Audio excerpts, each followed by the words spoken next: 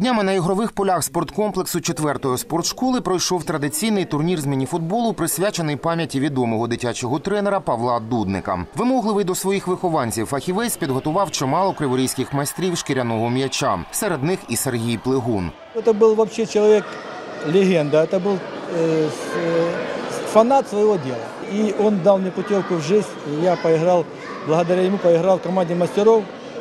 В общем, так что я считаю, что такие турниры необходимы. Участь у футбольних баталіях взяли гравці віком до 10 років. Вони представляли команди семи районів міста та колектив Дюша номер 1 Кривбас 84 Более 100 детей участвуют в этом турнире.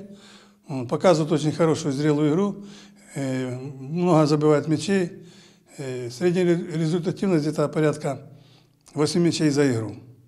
Ну, Так что играют дети в футбол открытый, интересный. Клуб Кривбас 84 один із засновників та фаворитів дитячих змагань. Найпам'ятніша гра футболістів перемога над локомотивом із Довгинцівського району. Юнаки й цьогоріч дійшли до фіналу та зустрілися зі збірною металургійного району. Підсумок протистояння перемога з рахунком 3-2. Игра для нас выдалась очень сложной и очень эмоциональной. Они много атаковали, много было моментов. Но в целом результатом довольны и очень рады. У матчі за третє місце не було рівних команді Покровського району. Футболісти святкували перемогу над Шахтарем із центрального міського району. Кінцевий результат 6-1. Усіх учасників нагородили солодкими призами від спонсора турніру Руслана Ковальчука, а призерів та переможців кубками, медалями і дипломами від міста.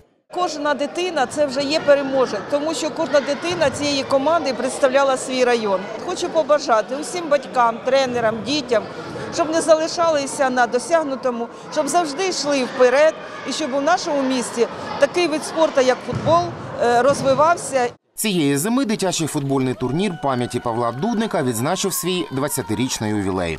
Іван Проводов, Микола Замковой. Цей день спорт.